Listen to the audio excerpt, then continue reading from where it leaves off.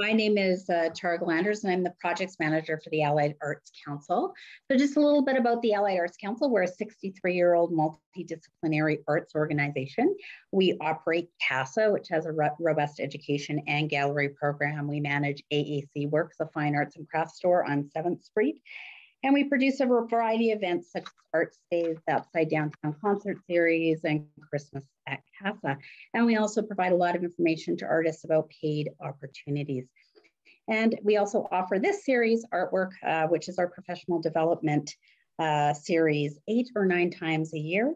Uh, but let me introduce you uh, to tonight's speaker, Darcy Logan, who I'm sure many of you are uh, familiar with. Um, Darcy has worked in not-for-profit public arts administration since 1998, both professionally and as a volunteer. He is currently the curator and gallery service manager with the Allied Arts Council of Lethbridge, where he oversees the gallery at CASA. Previously, his work for the Bowman Arts Center and the Prairie Art Gallery, as well as contract work for the Center for Creative Arts, Alberta Foundation for the Arts, and the Grande Prairie Regional College Department of Arts. Uh, Darcy has sat on an extensive number of art committees and juries in both participatory and advisory roles, as well as being an episodic and ongoing volunteer for many organizations. He's also a practicing artist with a diverse studio practice and exhibition record, having received his BFA from the University of Lethbridge. Uh, so Darcy, if you'd like to uh, take it away. Sure. Um, Thanks for uh, tuning in, everybody. I'm going to be talking about preparing uh, exhibition packages for submission to uh, galleries and uh, other sorts of adjudication processes. Um, as uh, Tara alluded to, I've sat on an extensive number of adjudication committees and juries uh, with various organizations in my professional capacity. I've also drafted and generated a lot of gallery submissions in my artistic practice to uh, send out to galleries as well. So I think I have a fairly balanced perspective from both sides, the administrative side and uh, the artistic side. And uh, hopefully I'll be able to share a few tips, uh, tricks and techniques with you when you're developing uh, a submission. And this is going to be primarily focused on applying for galleries in the public realm, uh, artist run centers, uh, public galleries, cultural centers. Not so much for uh, commercial galleries. That's a, a, a, different animal and something that I don't have as much familiarity with. But uh, the kind of templates I'm going to show you will be uh, easily applicable and transferable to um, a wide variety of venues that are seeking proposals. So I start sharing.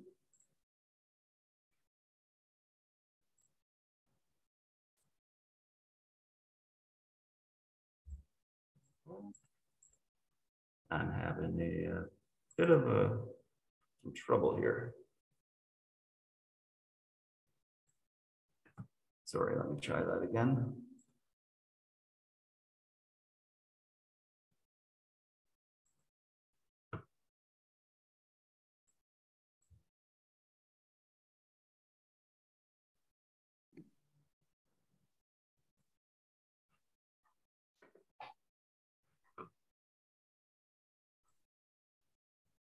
There we go. Sorry about that. Submit, preparing submission packages for exhibition, a brief primer. And as I mentioned, this is going to be um, a kind of template that you will be able to use as you're looking at different calls for submissions. So there's a, a few standard elements in a submission package. And I have used uh, the signifier of an envelope and pages when I'm talking about this. While there's a lot of galleries that still accept hard copy proposals, a lot have moved over to strictly digital submissions, but the core components and elements will be the same. The first thing you have to have in a submission package is a cover letter and a cover letter introduces yourself and articulates your interest in having an exhibition of the work. For example, My name is Darcy Logan, and I'm a painter living in Lethbridge, Alberta. I'm interested in exhibiting a suite of landscape paintings that I've prepared. You'll find in this package, and then you'll list everything else that's in it. The next, you have your project proposal. And your project proposal outlines what you would like to exhibit. And this can be completed work or a proposal for work that you would uh, like to exhibit in the future. Um, some calls for submissions uh, ask for uh, already completed work. So maybe if you're applying for uh, a thematic group show, you might um, do a submission package for work that's already finished. But a lot of galleries are looking for uh, work that you're proposing to create. And they will be looking for uh, history and a, uh, that you've been able to show facility in, in creating the sort of work that you're proposing. Oh, there's an example.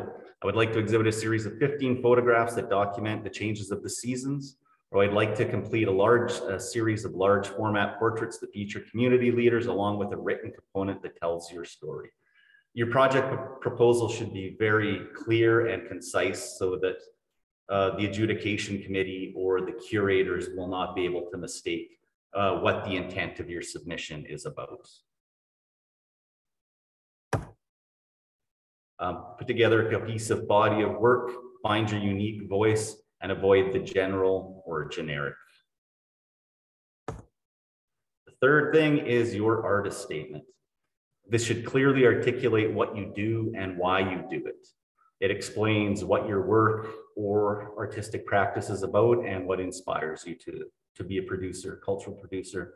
Keep it simple, avoid cliches, uh, avoid pedantic language and florid language. Fourth thing, images and a list of works uh, a selection of representative images and a corresponding list with title, date, size, and medium. Again, choose your strongest work and try to keep the images thematically cohesive.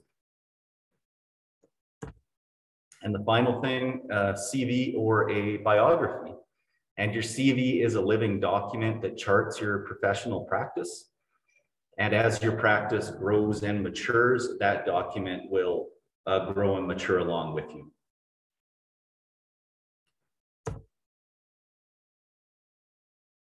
If I could just give you one word of advice, and I could probably stop here, but I will go further, is read the call for submissions closely.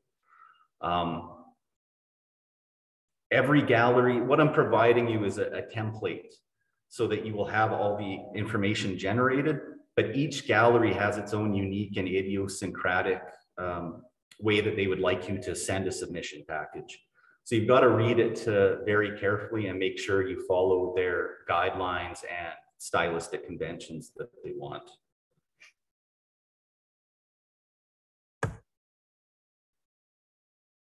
So I'll talk a little bit more about these elements. Your cover letter. A cover letter briefly introduces yourself and articulates your interest in having an exhibition of your work. It's important to refer to why or what you are applying for a thematic group show, a project, or a solo exhibition, and it lists what you have attached in the package.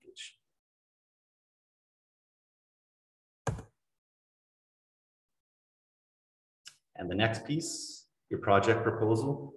Your project proposal should outline the work you're wanting to share, whether that's a completed body of work or a body of work that's currently in progress, as I uh, previously mentioned.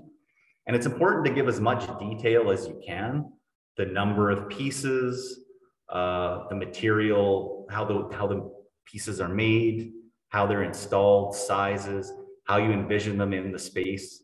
Uh, provide as much detail as you can so that the people looking at your project proposal have a very clear understanding of what it is you're wanting to um, articulate and install in their exhibition space. Quite often galleries will have a floor plan or a layout on their website. So you can look at that um, as you're making those sorts of determinations. It's also important, I think, to be as open and flexible as you can. Um, for example, I have 10 pieces completed and will be producing eight more in advance of the exhibition.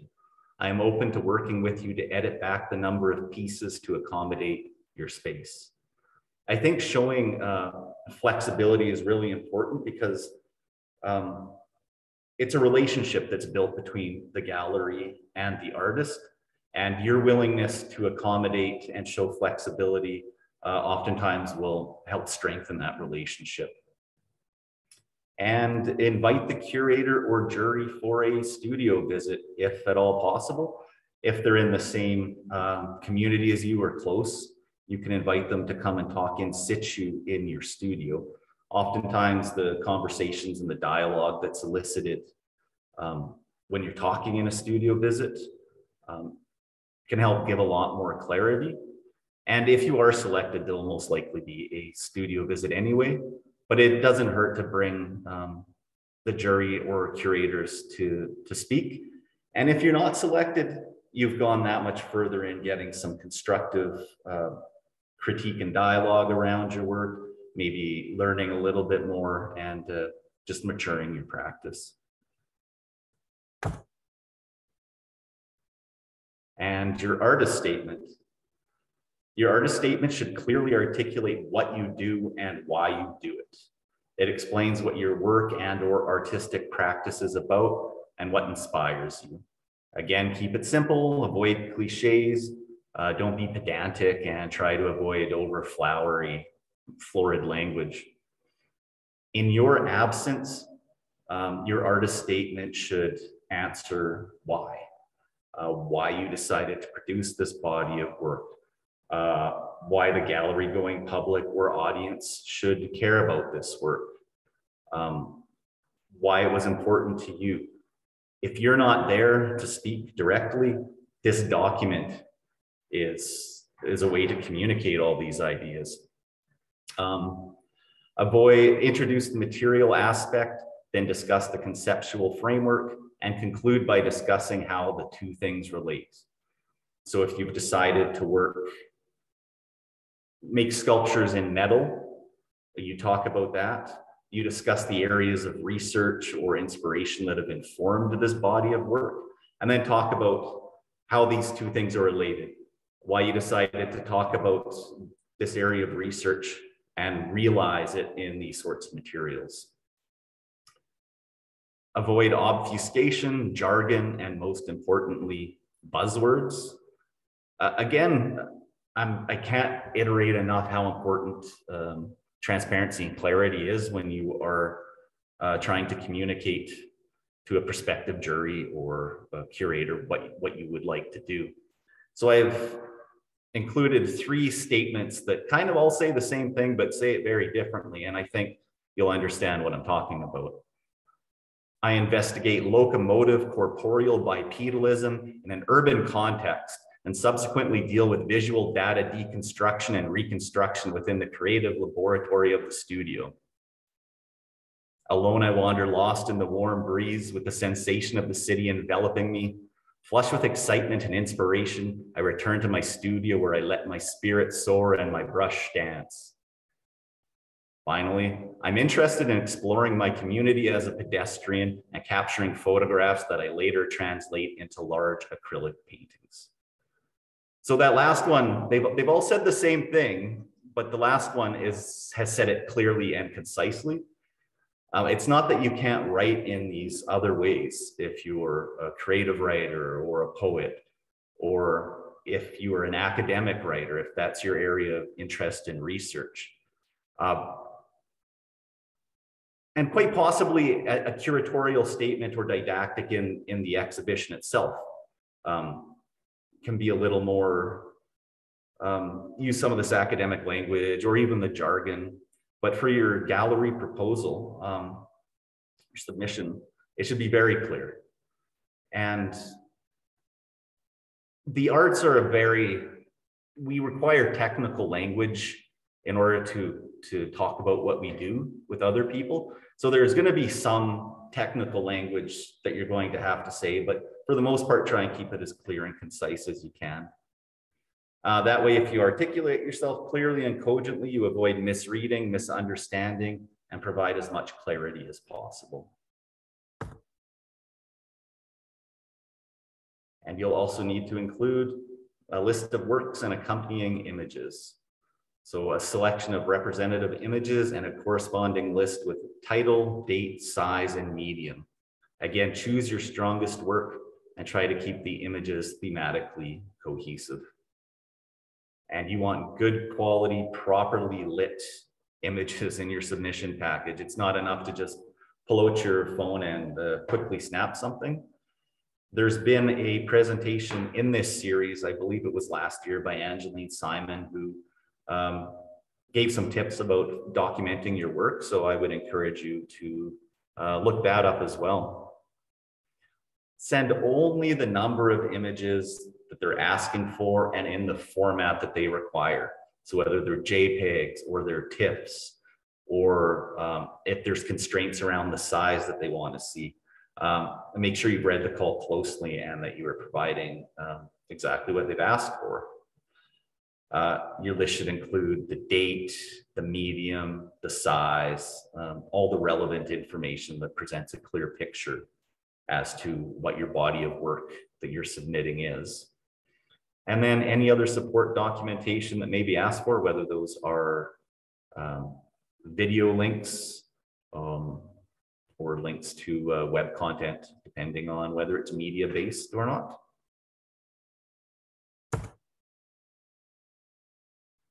and your curriculum vitae. For the love of God, put your contact information on your curriculum, on your CV. Um, I can't tell you the number of times that um, I've had a, a, submission package come in and even successfully adjudicated and accepted it. And um, if it's come in via email, perhaps that email was attached to a job that the person's no longer with or an academic institution that they're no longer at. And that mode of, of contact and uh, dialogue is not there anymore. And I go to get their contact information from their CV and it's not there. So I have no way of tracking this person down. So make sure your CV has your phone number and your mailing address on it. Um, for emerging artists, list as much as you can and edit that back as you gain experience. Um, as I said, it's a living document that charts the trajectory of your practice. So if you're an emerging artist and perhaps you've only ever had your inaugural exhibition at, in a gallery at a coffee shop, by all means, uh, put that on. But as your practice develops and matures over time, you're going to be adding more and more to that list. And then you will start to edit uh, back the things at the bottom. The other thing is uh, don't be disingenuous or try to pad your CV because it's, uh, it's very transparent. When you're going through a, um, a submissions package and you read the CV and they've got a list to a, a bunch of spurious sounding exhibitions and uh, things that are, are suspect, it's you, you can tell and it challenges the trust that you try to build um, in that relationship between the institution and the artist. In conclusion, an adjudication is a process of elimination. For example, if a curator or jury has five exhibition spots and hundreds of submissions, which has happened one of the first ways to cull submissions is to disregard the ones that are incomplete, improperly prepared, or didn't follow instructions. And that's regardless of the quality of the work. And uh, that's happened to me. And I've had submissions come in from um, really well respected and well exhibited artists and uh, educators and academics who have improperly completed their submissions um, submission package. And the easiest way, if you're going to have to cull 95 uh, submissions, that's the first thing that I would do. And I know a lot of people at other institutions do. It's it, they haven't followed the guide, the simple guidelines that have been uh, laid out. So you can disregard those because you're going to have to, to cull down to a small amount. Um, and conversely, a professional and well put together submission from an artist with a weaker body of work might mean that they are selected or make an impression. It shows a, a, a commitment and discipline to their artistic practice if they have really put together a strong proposal package and uh, followed all the guidelines closely. I would also caution you to make sure you have someone edit your documents for style and mistakes. The last thing you want to do is hit send and the next day go through and look at it and realize, oh, okay, I made mistakes in, in spelling and in punctuation um, because that doesn't reflect well on you and your uh, professional comportment.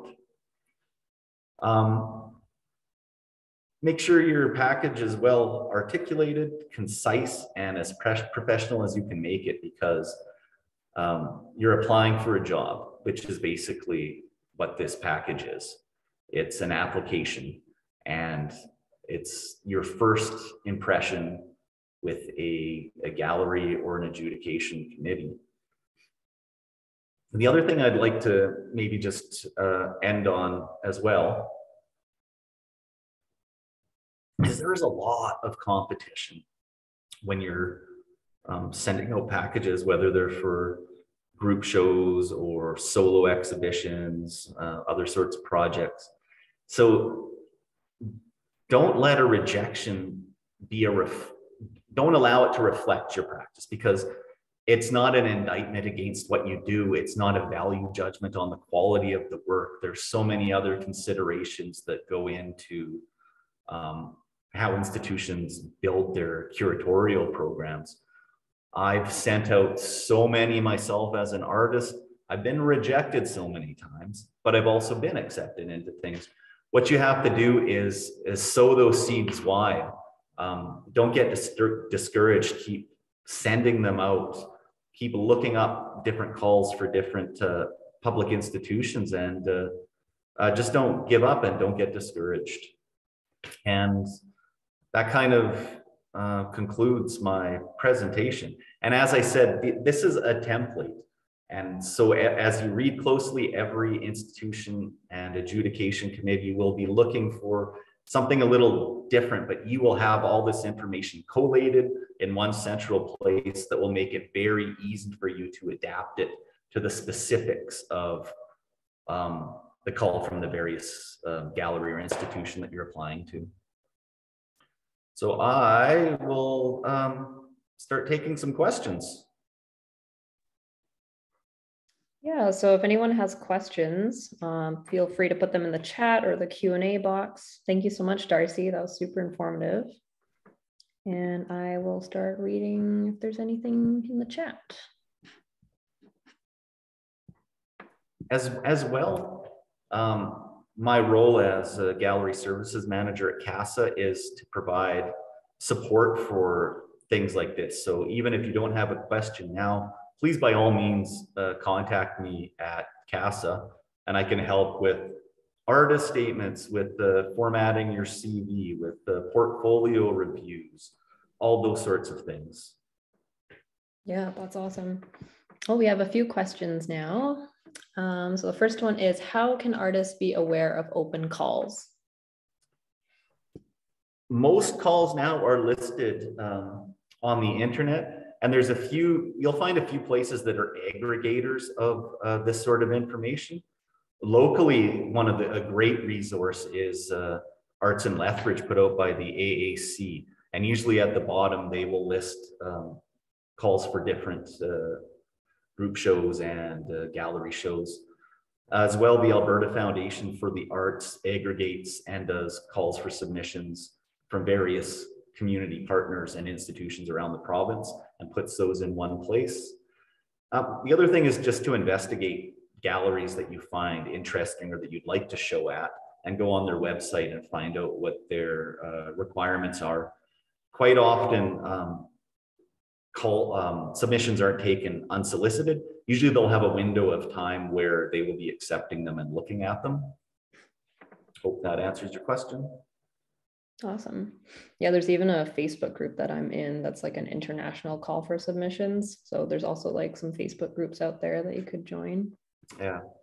Um, we have another question here for email submissions. Should we send PDF or Word doc? Um, just look at what the requirement of the institution is.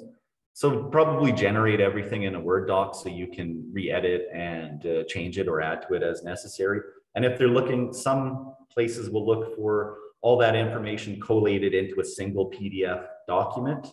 Uh, some will say Word document, some might not say anything and you can just uh, maybe send a message to the curator or, or committee about what they'd like to see. Mm -hmm. And then addition to that question, each component should be a separate document or file, or should they be all like in one PDF? Uh, okay, so I kind of touched on that a bit. I, and I think this is a, a, living archive that you're keeping, all these elements like your CV and your artist statement. So I think it's important to keep them as separate documents um, that you can revisit and add to, change, modify, um, and but if they if you if the gallery that you're looking at wants them in one document, then just in that specific instance, um, combine them into one. Mm -hmm.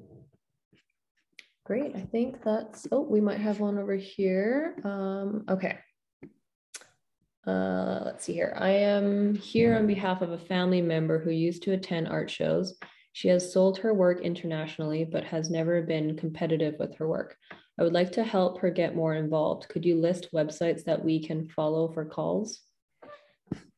As I mentioned, signing up for um, the Allied Arts Council uh, Arts and Lethbridge newsletter is a good place to start. Um, I used to have a document that listed a bunch of aggregators for that information. Uh, some are now out of date.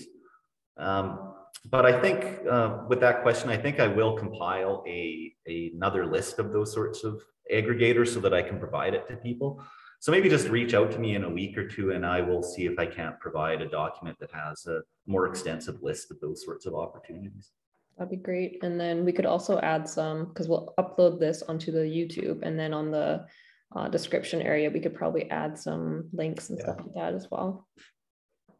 Yeah, I don't see, oh, um, should an artist only include formal art education? Is there a way to list workshops or, or, or sorry, or online courses? There's a lot of ways to format your CV. Um, and it's almost, it's contingent on, on your personal experiences. So if, if your exhibition history is more informal, and say it's been in a, a, a gallery at a coffee shop or a, a, nice little gallery display area at a, local framing shop, uh, by all means put those in. And if your education experience, say you haven't had the, the luxury or privilege of going for a post-secondary art degree, and your education has been mostly through workshops and that, by all means, yeah, put those on. And and as your practice matures, maybe you'll keep them on, maybe you'll take them off, but you always need a starting place. And I think you want to present clearly uh, what your background is and, uh, and, and celebrate that and uh, share it with whatever adjudication uh, committees or juries are going to be looking at it. Okay, thank you so much, Darcy. I don't think we have any other questions. Uh, Tara, did you want to do any final closing words? Oh, you're on mute. Thanks, Angeline. Um, great information, Darcy. Thank you so much for doing this. I think it's invaluable. Um, uh, our next artwork is going to be November 4th at 6 p.m. Uh, it, Alberta Music is going to be doing a presentation. They are a nonprofit service organization dedicated to helping people build their careers in the music industry. So if you know of any musicians or if you're interested in that and finding out some more information, how to build a professional career, I think that's going to be a really great um, uh, artwork session for everybody. So that's it. Thanks so much, everybody. Oh, I have one more question. It just popped up. Do you mind, Darcy? No, no, no, no. Uh, when conducting a studio visit, would you rather see work in progress or a display of completed works? I think you can understand a work in progress by looking at completed works. And so I had talked about when you're doing a proposal of work that proposed work, I, your images are going to be of completed work because the committee's got to understand that you have the technical facility to realize whatever it is that you are proposing. And in a studio visit, I think most studios would have a, a selection of things in, in, in progress as well as completed work. So I think just rounds out your practice to be able to see all of those things. Mm -hmm. All right, great. Okay, I do not see any more questions. and, and again, please, by all means, reach out to me um, in my professional capacity at CASA uh, to answer any more questions. It's a really, talking about submissions, it's, it's pretty straightforward. And I think I've laid out um, all the, the necessary kind of documents that you would put in it. Um, but it's up to you to start working hard at tailoring that specifically to your own voice, um, and then tailoring it again to the requirements of, of the different calls that you're going to be sending it to. So if you're if you're putting one together and you'd like my professional opinion, um, I'd be happy to look at one if you're developing one. Great, thank you so much. And thank you everyone for coming. Um, yeah, we'll see you all next time, November 4th it was. And we'll upload this on our AAC YouTube as well. So it'll be available there if you ever want to uh, see it again. Thanks. Night, everybody. Bye. Have a good night. See ya.